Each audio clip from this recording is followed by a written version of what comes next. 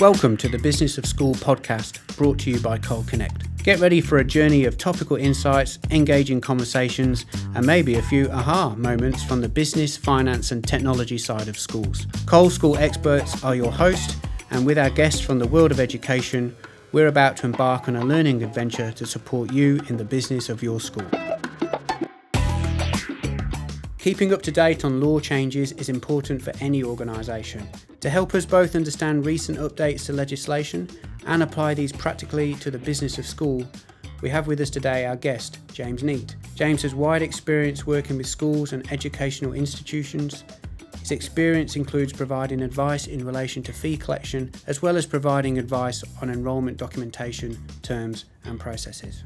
Welcome, James, to the Business of School podcast. Thank you, Kedden. Great to be here. Thanks for joining us. So, my first question is going to be Do schools really need lawyers? Well, uh, the answer must be yes. Um, we all know that we live in a very complex world, and schools are, of course, complex organisations, uh, and they have a range of legal responsibilities and issues that they address. One of the things that I've seen over the years is that sometimes schools have this sense that they're a, a vacuum, they're a closed loop environment where uh, everything happens within the school system, uh, the hierarchy, uh, all of the stakeholders are in a, effectively a closed loop. Sometimes that blinds organisations to the need to recognise that they are, in fact, a legal entity, often property owning, employing people, dealing with lots of people, lots of risk management issues, uh, lots of legislation that applies to them. Some of it specialist to schools, Yeah. Much of it very general, which would apply to any business of those sizes. So, do they need lawyers? Do the laws apply to schools? Certainly they do. Just like any other company, they're, they're not removed from it. Not at all, not at all. Sometimes they feel that if they are within uh, a closed loop, uh, part of a broader uh, organisation, uh, maybe um, uh, an independent school uh, or uh, a school that's part of a, a church network, Yeah. that they are the rules that apply to them, that those things are what guides and informs the decisions they make. But like every business, as you say, uh, the law is going to apply to them equally. And there's lots of aspects to that for them, both from a commercial point of view, from the employment with people, from the finance side of things, their, their development that they're doing with their buildings. Certainly, when you look at a business, um, uh, any business, uh, you need to understand that it's going to have legal relations with a number of different parties, external contractors, internal stakeholders. There's the duty of care issues, insurance issues, building management, uh, contracts, supply contracts, building contracts for development. You know, in some ways, you could say that a school that's undertaking a redevelopment um, uh, or uh, building a new wing is, in fact, a, a property developer. It's going to have all of the same issues that a property developer down the road on a corner block doing another building will face. Yeah. Same set of issues exactly. And like one of your areas of speciality is schools. So how are schools using lawyers in the current environment? Uh, in, in short, I'd say not often enough. Um, as a lawyer, um, uh, there's nothing more frustrating uh, and- and makes our task slightly more difficult if the client or a school comes to us too late in the process. Yeah. Um, uh, proactive engagement with lawyers to take a sounding on an issue. Yeah. To, Almost to- part of the strategic decision making. well, certainly. I mean, there's there's all, all manner of different issues. Sometimes there are crisis issues which arise, and, and you Yeah, can't predict that they're going to happen, and you have to immediately react and respond. But there, there's a whole range of other things that can be done on a more of a project management basis, where people know that things need to be addressed, internal policies or uh, enrolment terms and conditions, um, uh, staff contracts to the degree that those things apply, broader things like uh, privacy uh, policies uh, and protocols. All those types of issues can be conducted in a more orderly way. What happens, unfortunately, is it's often a crisis moment where someone puts something to them.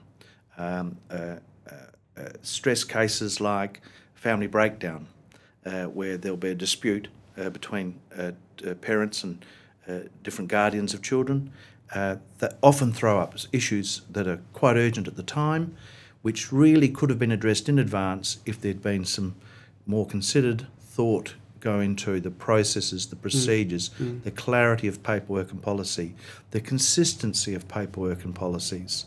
So often we see something that was put up on the web as a link five years ago, which is different to the materials that were in the newsletter last Yeah. week, which is inconsistent with the enrolment form, which didn't in fact marry with the terms and conditions when the offer of in, um, enrolment was granted And we've not even looked at the fee policy yet. and, and all those types of issues. You know, those those, those are things that um, uh, uh, at, so often they don't cause any dramas, and because they're not constantly causing dramas, people think all is well, leave it alone. They're not on the radar to review. Perfectly said. Um, but in truth, when the when, when it becomes an issue, it's often too late to say, well, let's look at the paperwork. Let's point to something we have an answer to it already existing in our Okay. in our standardised paperwork. And in the in the current environment, what are you finding being one of the most common crisis moments that schools are facing where they're reaching out to lawyers?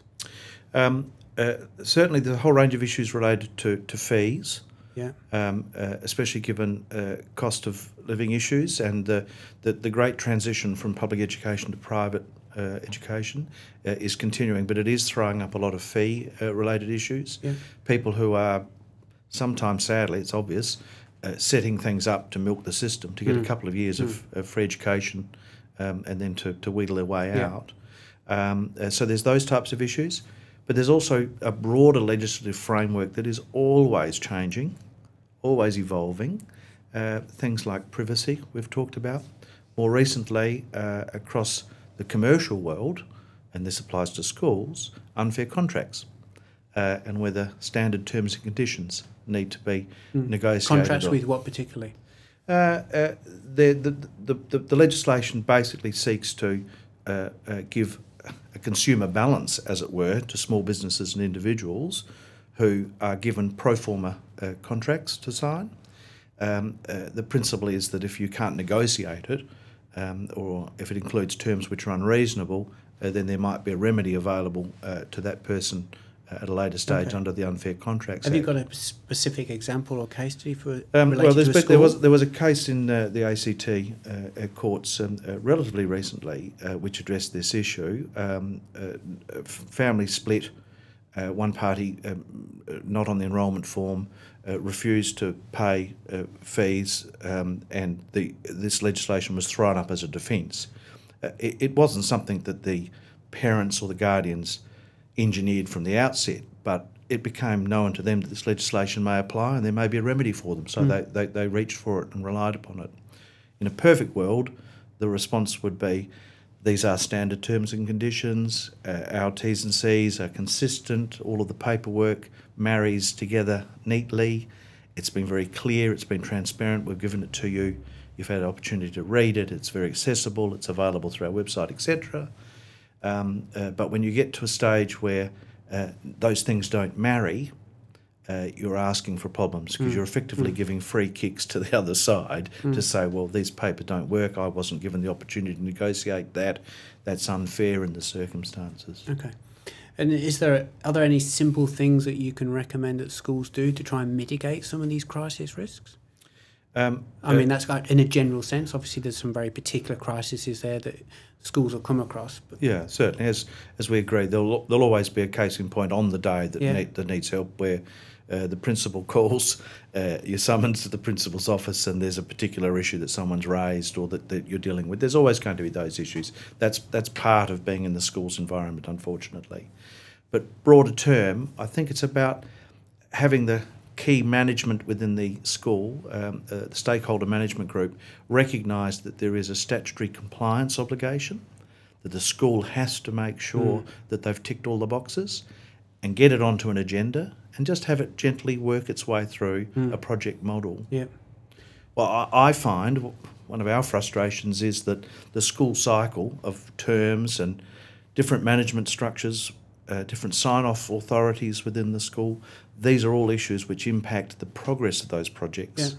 yeah, yeah. Uh, if, if they could be progressed in a more orderly way, uh, we would iron the wrinkles, as it were, and avoid problems for later. Well, it's interesting you saying that best practice process. You you, you mentioned compliance, and it's, it's the awareness of the need for that compliance is right at the very beginning of the process, isn't it?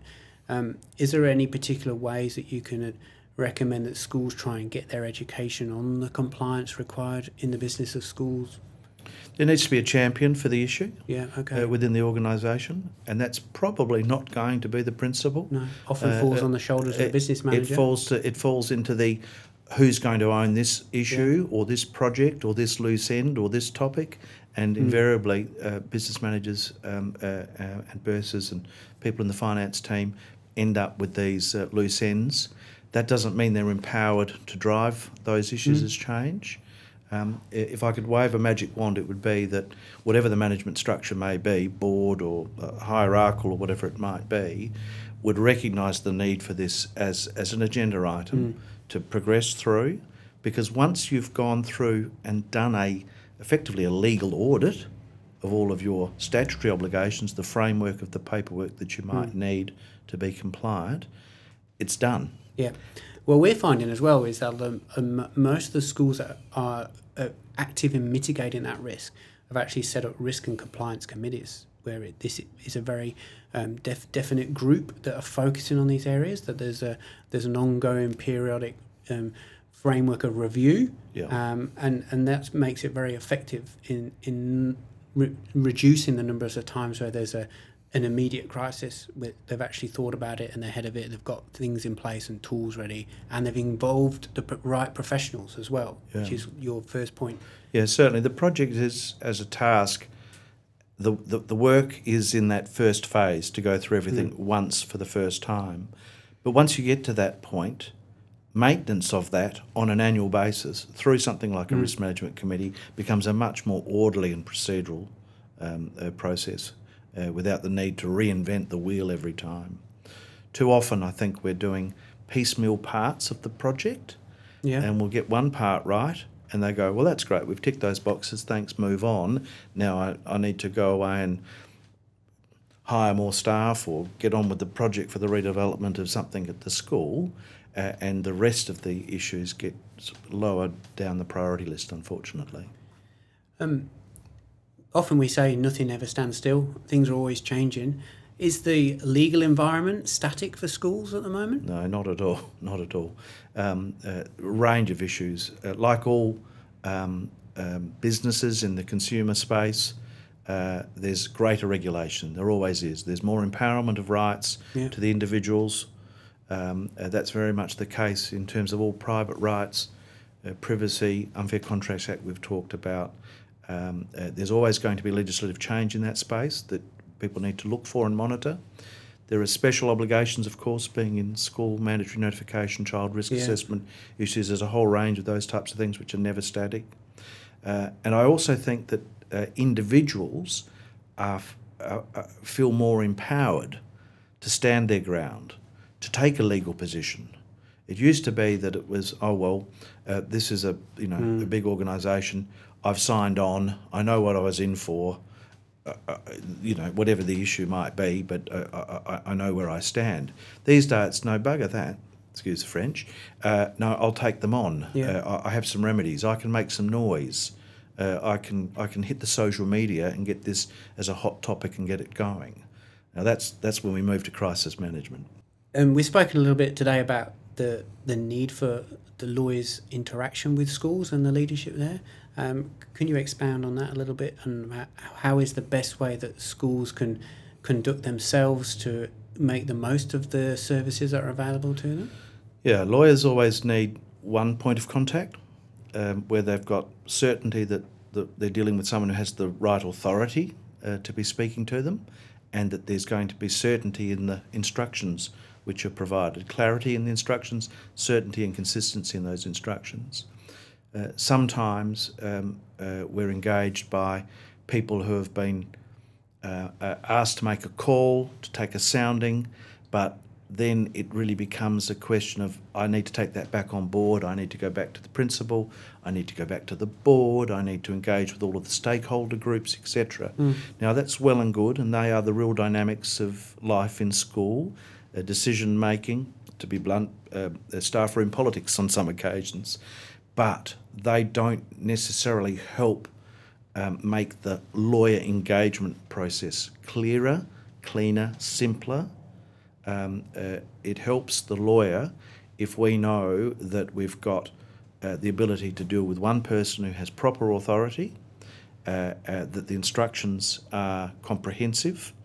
Uh, the more you can give us by way of a background brief in advance, the easier it will be for us to come to a landing because we'll have that broader context in terms of those instructions. There'll always be more detail that we'll need to flesh out finite things, but um, if you can give us a bigger picture um, and some context in a clearer way at the earliest opportunity, that will guide us, and of course, that ultimately means the saving for the school in terms mm. of the fees. Mm. Another issue I would um, touch upon, it's a consequence of that, is when we give that advice, um, if it is in response to a, a, crisis moment or a particular issue that's been raised that the school's addressing, uh, a, a, hot political potato, a noisy, um, discordant parent, a family breakup issue, um, uh, whatever it might be, that advice will be about that and hopefully will answer that query. But beyond that will be broader learnings. Mm. Because um, uh, uh, you'll always have the, the opportunity to say, right, um, that's what happened in that occasion. What um, have we learned from that? What does that say about our paperwork? What does it say about our internal training or protocols mm. or clarity of sign off authorities within the organisation?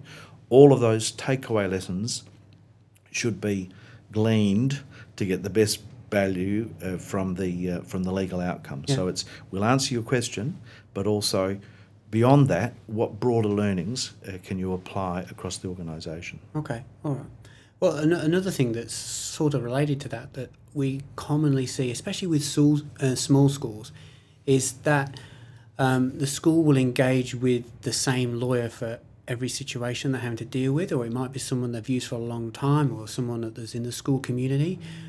Can you just maybe talk a little bit about the importance of using the right lawyer with the right experience and skill set for the right situation? Look, um, uh, uh, the easiest analogy is uh, doctors. You go to a GP for most things, you can have a regular GP who knows you, who knows your history, knows how you operate, knows yeah. how your body works. Yeah, and they have a very important role to play. And they do, uh, they do. But there will be occasions where a specialist is, is required and they should refer you.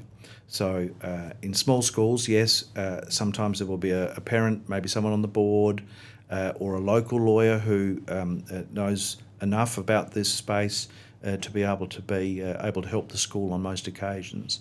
But it's about knowing where um, you cross that line into a specialist set of mm. um, skills. Um, uh, the, there are a range of different things that we do within our firm. The employment law, I have an, I have two partners in the employment section who yeah. uh, work in that area, uh, and I, I, don't tread on their patch because they're specialists in that space. There's a whole range of things that they would leave to me. The construction team, for example, yes. who work with yeah. schools on major project developments or building issues, defects, architectural, engineering claims, whatever it might be um, uh, you, you, pick the horse for the course. Um, someone who knows the school system uh, is adept to dealing with the reporting requirements of schools because they're different uh, to a private uh, client in many ways. Um, uh, but you do need to pick the, the expert, the horse yeah. for the course when needed. Excellent. Well, thanks very much, James, for being with us today. It's always a pleasure having you on the Business of School podcast and we look forward to having you on again soon for another practical law for schools update. Great. Thanks, Ken. It's just great to share and download uh, some of the uh, experience for people's benefits. Great. Thank you. Thank you. And that's a wrap for this episode of the Business of School podcast. We've enjoyed the conversation today and would love to have you join us for future episodes. Please hit the subscribe button and follow the links below to find more information and resources to support you and your school team. Until next time, keep being innovative, keep being awesome, and remember, there is always opportunity to improve on the journey. Thanks for connecting.